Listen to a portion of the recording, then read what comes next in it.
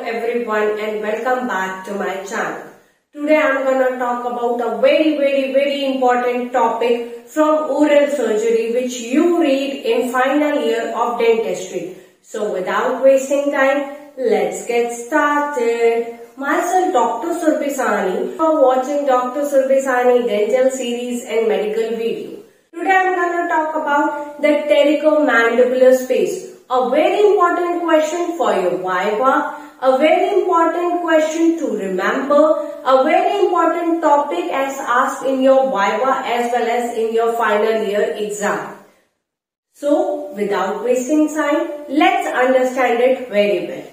Suppose this is the ramus of the mandible and I am the pterygomandibular space in between and this is the medial pterygoid.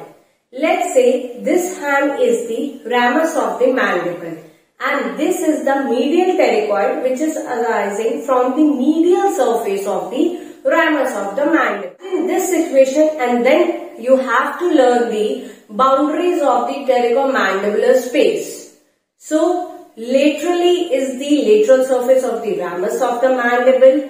Medially is the medial pterygoid muscle Anteriorly is the pterygomandibular raphe. Posteriorly is the deep portion of the parotid gland. Superiorly is the lateral pterygoid muscle and inferiorly is the pterygomasseteric sling. So that's all about the boundaries of the pterygomandibular space.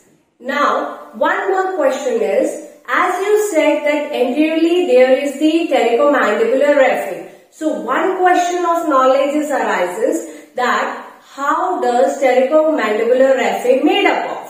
Pterygomandibular raphe is made up of the interlacing of the tendinous fibers of the superior constrictor muscle of the pharynx and the buccinator muscle in front. So that's from the pterygomandibular raphe This question is very very important to learn the inferior alveolar nerve block as well as give or to inject the inferior alveolar nerve block you need to locate this and learn this topic very well. The contents of the pterygomandibular space is the it consists of the inferior alveolar nerves, veins, artery, lingual nerve, nerve to mylohyoid and sphenomandibular ligament and fascia all about the important topic of pterygomandibular space boundaries as well as its content. You like this video and if you are new on my channel, do subscribe my channel and share my videos as much as you can. If you still have any query, you can drop me the mail which is shown on your screen. You can also follow me on my Instagram with my Instagram ID shown on your screen. Don't forget to check out the other videos in the playlist section of my channel.